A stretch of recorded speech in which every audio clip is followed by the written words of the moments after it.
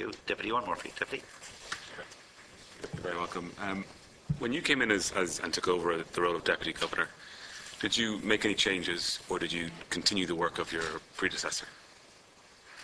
Well, uh, I think I've, you know, described that, you know, in a sense, in banking supervision, my work was to replace what he had put in place by the SSM.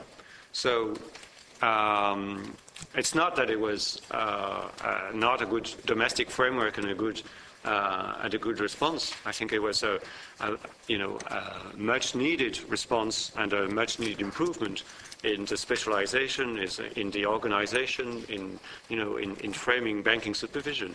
So I think that it's it's fair to say that when I arrived, um, I had a much much better banking supervision uh, um, than uh, when he arrived.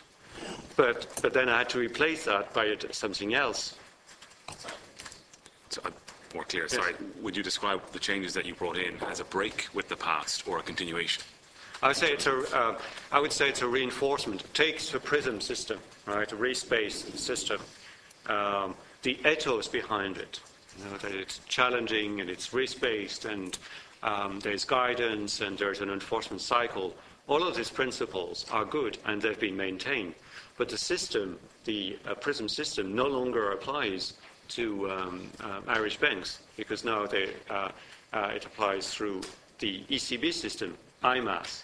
Now, um, where is IMAS coming from? Well, the ECB looked at the various systems across the Eurozone and uh, to, to decide not to build something from scratch, but take one uh, and build from it. Which one did they choose? They chose PRISM. So they, they took the Irish system and built on it. And so would you say you encountered any resistance then in your work internally? Resistance from? From, from staff or resistance to ideas or the types of changes you were trying to make, either internally within the organisation yes. or from other authorities in the Irish state? Well, I, I, no, I think they were delighted. Uh, people were delighted that you know we could you know go uh, do an even better job. That would create. Uh, I think the biggest change uh, has been the uh, addition of a. of a division of on-site supervision.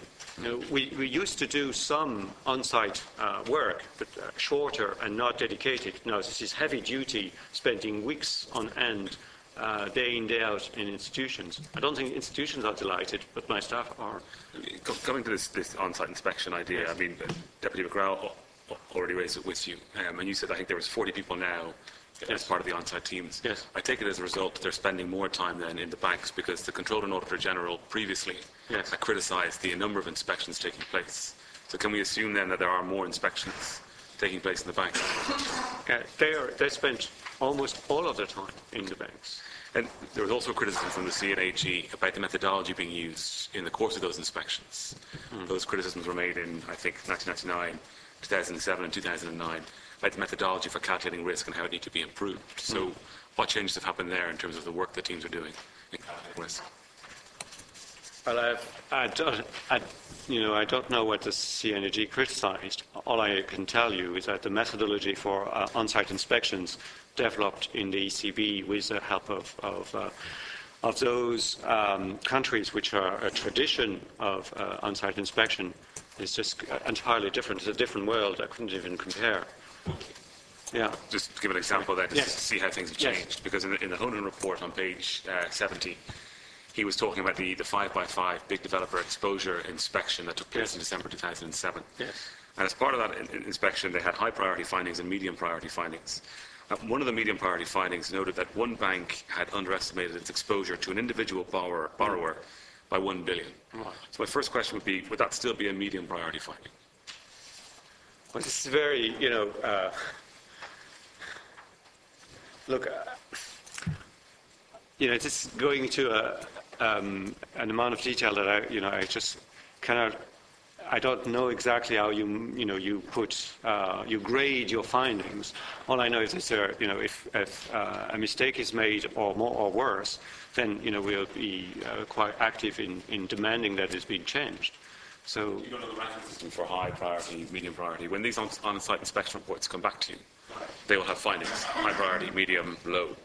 You're not familiar with how they, Well, I don't, I don't read uh, the, the dozens of, uh, of, of these reports. You know, I could not possibly in, in but when Mr. Neary was here, Yes. he intimated that a, a high priority finding Right. would be highly unusual. Yes. Um, Well, yes or no, I don't know. Yes, you would, you would like. okay, well, let me ask the question another way. Is there then. things that you want to address first, I guess? Yeah. Yeah. Well, would, would, would, would uh, a, a bank Yes. underestimating its exposure to an individual borrower by one billion, Right. would that be something you'd want to address first? Yes. Okay. Well, the first, compared to the, you know, if, Yeah. if there's something else even more important. Okay. Yeah. Would that still be possible today? Would it still be possible for an inspector Got you up there Yeah. quickly. to go in and to, to find something like that in a bank in Ireland today? Such an underestimation. I think the, it's the other way around. Now we have what we, I, I don't think we had, I can't speak about the past. Now we have teams going and spending weeks on end and, and covering uh, things that there, there was no possible way of uncovering before. Where it- it's, it's a different, it's, it's just a different world. So uh, it's not, we're not just tumbling upon this instance and that instance. You know, we are opening all the books. This is very intrusive, very time-consuming for us and for the banks. It's uh, something that did not exist here. Deputy Higgins. Thank you.